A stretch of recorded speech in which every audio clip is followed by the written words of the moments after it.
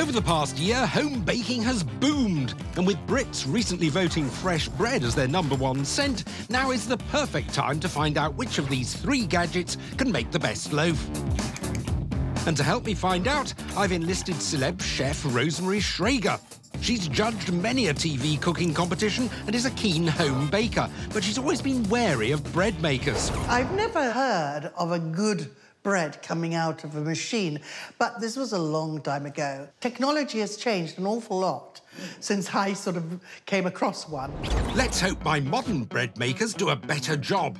First and cheapest on test is from Russell Hobbs. It comes with 12 cooking programs and can bake loaves in under an hour on its fast bake mode. Next, a mid-range offering from German brand Gastroback. It has 18 programs and can also produce pasta dough. And last up is probably the biggest name in bread-making tech, Panasonic. This brand new model may be pricey, but it has dual temperature sensors and 32 programs, including rye bread and 100% wholemeal. What will Rosemary's first impressions be from this latest crop? First under scrutiny is the Russell Hobbs. Can I have a look inside? Mmm, do. Now, that is what they're kneading it with. Yes. Is it going to knead enough to basically make it all rise so it works perfectly? So you're comparing that with your hands, basically? Well, I am, because that dough has to be torn in some way. You have to work that flour to make it build and rise. That paddle just might be the job. Who knows? But I'm yet to be convinced. Ah, it doesn't seem Rosemary's reintroduction to the world of bread makers is off to a good start. Best move on to the Gastroback. Paper, this makes quite a good case for itself. For example, it has an automatic chute there where you can put in fruit and nuts to be added to your recipe at precisely the right moment. That's interesting. I think it's rather attractive. Yes. If something is going to be out on a surface, I do think it's going to look nice. And if you fork out an extra 20 quid for an accessory, it'll even make ice cream. Now, I do like that. That really appeals to me, because I like a machine that can do more than one thing. It seems a bit of German engineering may be changing Rosemary's mind. Next up, the Panasonic. This is Panasonic's top-of-the-range model. It's just been released, fresh out of the oven, you might say. And as you'd expect, it's a very sophisticated machine. Where's the window?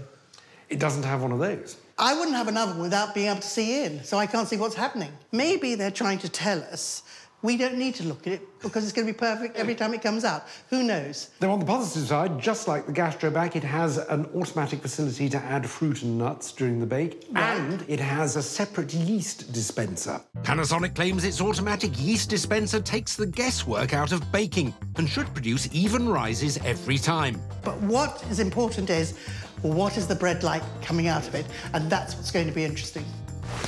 We'd best get baking then, Rosemary. For our first test, we're going to make a medium white loaf in all three machines following the manufacturer's recipes. Because I'm a mere amateur and you're a professional, I'm putting you, I'm putting you in charge of two of them. Okay. Uh, the Russell Hobbs and the Panasonic, and I'm going to take the Gastro Okay. back. Well, shall we get going? Yes, let's. Let's.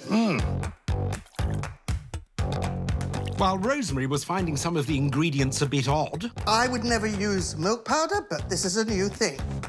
I was struggling to measure things out. Everything's in millilitres and grams, but the measuring implements provided seem to be teaspoons and tablespoons. Right, So I'm put more it or on the less- machine then. I've got to use the machine. Yes, I'm now going to put the yeast in. I'm measuring a gram of salt. While I was still fussing with my Gastroback, Rosemary had already moved on to the Panasonic.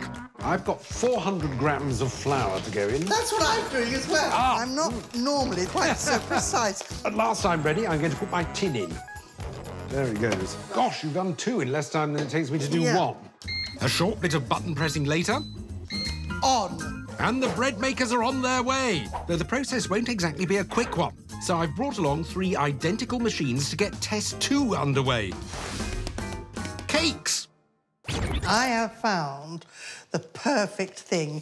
For the Russell Hob, I've got a fruit cake I thought would be a really good idea. Mm.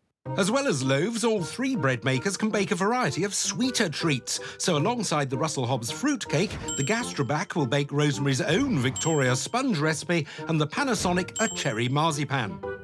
Shall we get on with it? Oh, yes. While Rosemary whisked efficiently away, I'm just going to bung it in. I couldn't even load my baking tin. No, no, no, no, Jon. What? Push it to the side. Is that not quite enough? I thought. I need to give you a lesson. But eventually, we were ready to go. That's exciting. I'm excited. Cake making underway, our bread is now ready for the all important taste test. And once again, it's the cheapest Russell Hobbs first. It's a very light bread. It hasn't got that hardness about it. It's tasteless.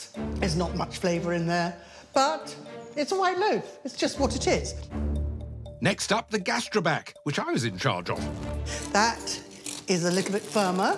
Mm-hmm. And actually, it's a better bread. It's still soft, but it's got a firmer texture about it. I like that bread. Splendid! Turns out Bentley can bake. But how about the Panasonic? Okay, I can tell immediately it's a very, very soft bread. This is really spongy. Really, look, I mean, I reckon if I could just go like that and squeeze it in no time.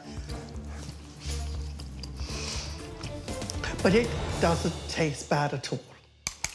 So, with a bland loaf from the Russell Hobbs and a tasty but overly spongy one from the Panasonic, it's the Gastroback that wins our bread test. But will things improve for the Russell Hobbs in the cake round? It looks really good. Hmm. I quite like the texture. Hmm. It's moist. I've got the flavour. That's actually not a bad cake at all. Some redemption for the cheapest machine on test, but can it keep up with Rosemary's Victoria sponge from the Gastroback? It, it's a disaster in terms of looking at it. Like sunk in the middle. Maybe using her own recipe wasn't wise. But it's very buttery, very rich. It's actually not bad. It seems Rosemary's tasty sponge is fighting back. How will our pricey Panasonic fare with its cherry and marzipan cake? It's not cooked. oh, no. Hmm. This actually is not cooked in the middle. What a shame. In fact, Rosemary wouldn't even taste it. Oh, yes, it feels liquidy. Decision time. So really, that's the best of the lot. So the Ru- Russell Hobbs So sort of wins the cake that round. wins the cake round, yes. I think what we've achieved has been really surprising.